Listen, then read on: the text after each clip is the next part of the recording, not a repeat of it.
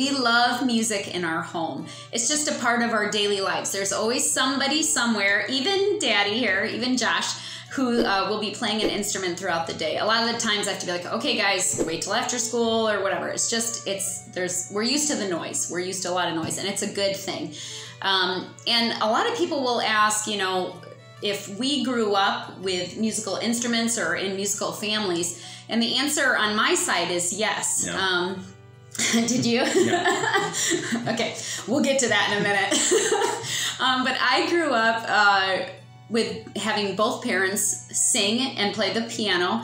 Um, my mom could be a professional pianist and she also can read music really well and she's also um, a very gifted vocalist and so uh, and so is my dad and so we grew up singing at church and and uh, taking piano lessons which i did not like and my mom let me quit that when i was little just for the record but I did not enjoy piano lessons at all. I didn't enjoy learning how to read music. Um, we would travel around to church, to nursing homes, um, to different organizations and sing as a family. So it was, I remember like kind of liking it and kind of not as a kid. I don't know, but I knew it blessed the people uh, that we were there with. So it was worth it. We didn't do much. We, I mean, we sang like in when we went to church and stuff. Yeah. But we didn't, we didn't, we weren't made to do much in the way of instruments. My dad played drums. That's right. Yeah, he was, he was a drum that. player.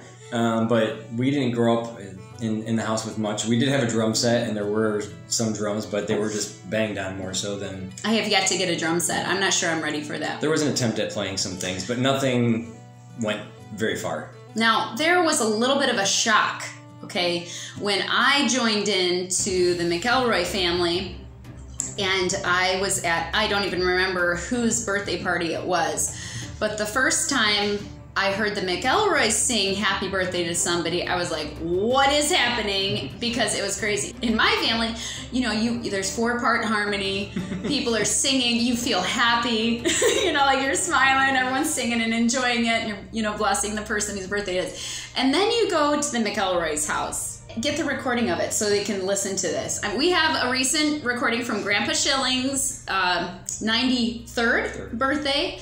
This is what they did to their grandpa. Okay, let's see. This is love, right? Let's okay, play it. Happy birthday to you. Happy birthday, dear Grandpa. That's Seriously. family representing right there. Okay, They did a good job on that one. so that's the difference. Okay, so at some point you just own it and you decide, okay, I can't control these people. I can't teach them, you know, and they do it on purpose. And I know that. They're not bad singers. Like Josh, they can all hold a tune, but they try with all of their might to make it sound awful.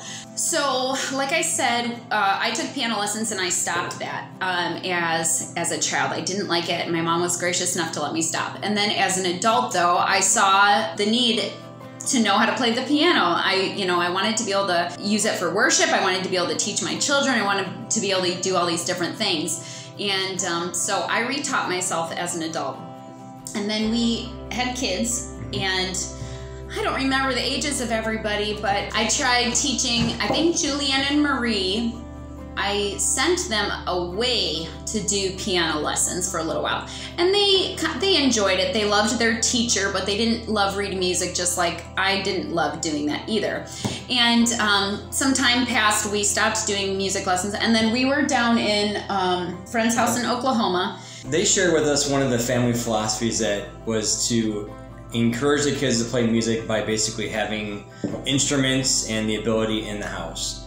And the idea behind that was that if you had uh, a certain instrument in the house, that they that they might pick it up and play it. And so it was more of just a um, statistical chance of having an instrument in the house and then that they might pick it up and play it. So we kind of took that approach. It got to the point where we just started to have more instruments in the house so that they could play them and pick them up as they kind of had a desire. So now we have some pretty crazy instruments. And just to touch on that again, you know, our friend Pat told us, you know, if if the instruments aren't in the house, they're not going to play them. But if you kind of have them in the house, um, then they're more more likely to go try it out and see. And when you push those things on kids, not that I don't believe, I do believe in making kids, you know, learn self discipline and learn how to do things, even if it's not their favorite thing, whether it's chores or whatever. But with music, You have to like it. you have to like it and love it. Otherwise it's just going to be a chore that you don't want to do. And so we kind of we saw this in people's you know in other people's lives and their families um, and so we're like okay how do we start doing this? And uh, you know, it was as simple as when we were visiting our friends in Oklahoma, the Montgomery family, that uh, I think Marie had her guitar, or had his guitar or something, had Levi's guitar, and I think Levi showed her three chords, I think, how to play, and that's how it started. And so I like to joke, you know, that it just started with friends and three chords um, for Marie, and that's where it all blossomed into just like she's she's amazing, you know, and uh, not just because she's my kids, it's just uh, she loves what she does and she's learning new things all the time. Um, I think So- the other thing was making it fun. They made it fun as a family. It wasn't like it was a chore that they had to sit down and do something. Yeah, was- you just joined did in, it, yeah. even if you didn't know how to play. I mean, like, okay, so it, I had to like get over it because like we were over at their house and you know their kids are amazing at playing instruments, so they were all playing their instruments. But my we didn't know, you know, uh, you know how to play certain instruments, but the kids were just getting that that triangle, you know, and hitting it Egg real shakers, hard, and egg shakers and guitars or whatever it was. Mm-hmm. They just picked up something and nobody cared. They just encouraged them to play. And that meant so much to us and encouraged us to where, and has brought us to where we are now.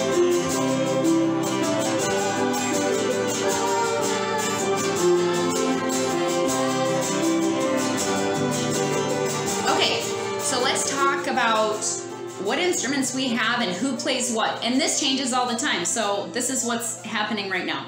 So first we have the harp. We came across Julianne had seen some friends, um, two different households um, with uh, young ladies who played the harp. She loved it, and so we ended. We went on a search for this harp. You know, at a used instrument shop locally here. We walked in there. Josh was looking for a guitar, I think, for Marie Yep.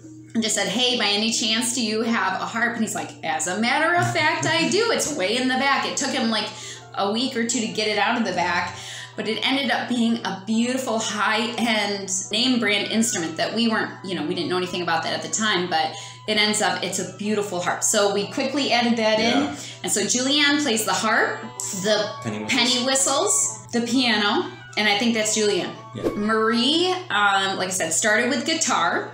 She also plays the penny whistles. She plays the banjo, the mandolin, and piano as well. Mm-hmm. Yes, they've all, I have not pushed them on piano. I just let them kind of decide if they wanted to do that. And so far, they're all doing it. Okay, Elise, um, her most recent instrument is the violin, which is really fun and that she can kind of join in with the big girls. Um, she also plays the piano. William is our box, box drum guy. Uh, he likes playing the box drum. Josh actually made our box drum The Cajon. the cajon. It's a box drum. So Josh made that, and so that's kind of a special instrument in our house.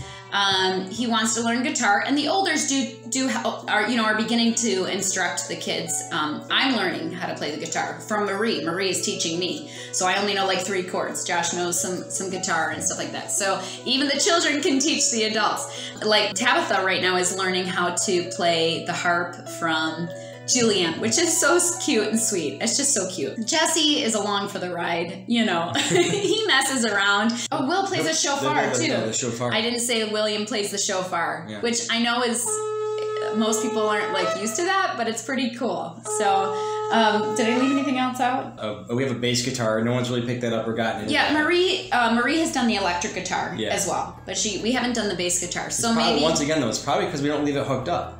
That's It might be one of those things where if we left. If we left it hooked up. we just don't have enough space. We're gonna run out of space. we'll have to make a music room. Yeah, someday. So anyway, I think that's what everybody's doing. Again, you're never too old here to learn new instruments. I I know how to play the piano, but I I would love to learn how to play the guitar fluently. Um, because that is a portable instrument and there's something um, valuable to that. So, anyway, I think that's what everybody's playing.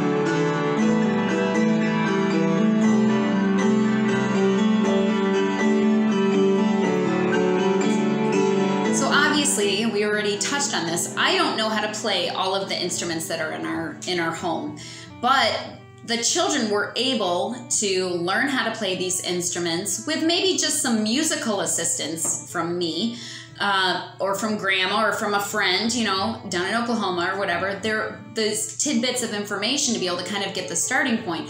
But honestly, these things can be learned off of YouTube instruction and different DVDs and, you know, learning tools. I just want to encourage you that just because you don't play an instrument yourself or don't feel musical, that doesn't mean you and your children can't learn to play something new. It may take a little more time, it may be a little bit more difficult, but you'll be able to do it if you put in the time and the effort. Yeah, the Montgomerys even they they encouraged us to just figure out something and play it and take it from there. So even if you know two, three, four notes, then you just and the guitar too. Yeah. And you just you got to start somewhere, and you don't have to be so overwhelmed by oh I don't know how to read music or I don't you know fill in the blank I don't have an ear for this or whatever. You just have to start and begin to train yourself and train your ear and and it'll come. It will come with some hard work, just like anything else. You put in the hard work, you'll see the benefit of it. And I'm so glad that we've had that opportunity with our kids and with the musical instruments that we have in our home. So if you've enjoyed today's video, please subscribe and help support our farm. hit the button below that says subscribe and hit the little bell that's off to the other side. So if you've enjoyed today's video, go ahead and hit the subscribe button, which is right down there, and that will just notify you of any new videos that we come out with. All right, see you later.